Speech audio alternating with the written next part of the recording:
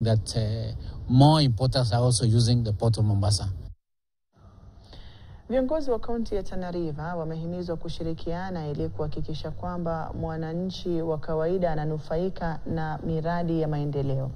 Idris Dokota ambaye ni katibu katika wizara ya masuala ya ndani mwa nchi amesema kuwa uongozi ni muda ama ni wa muda na kila kiongozi ana jukumu la kuleta manufaa kwa jamii kupitia miradi ya serikali. Mbunge wa eneo la Bura Yakub Ado pia amewasihi wananchi kudumisha amani na ushirikiano ili kuleta maendeleo zaidi katika kaunti hiyo.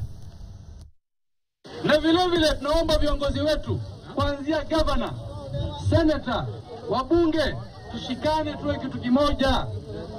Tukishikana ndio Tana River itaendelea mbele.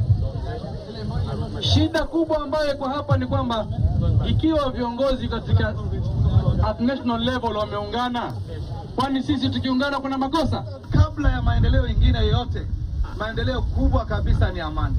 Mkionana sisi wanasiasa kwa maneno, labda kuna cheche za maneno na kuguzana kidogo, isiingie kati yenu.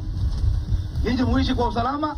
Mimi mshahara yangu ni yangu, mshahara ya gavana ni yake, mshahara ya Ali Ashaka ni yake, mshahara ya Aminadika ni yake, Mheshimiwa Mheshimiwa Saidi Posta pia ana yake, na MCS na speaker na majority, kila mtu akona yake. Hakuna atakaye share na wewe mshahara yako. Na viongozi kaunti ya Turkana pamoja na wakazi wameishinikiza serikali kuelezea ni kwa nini tamasha ya kita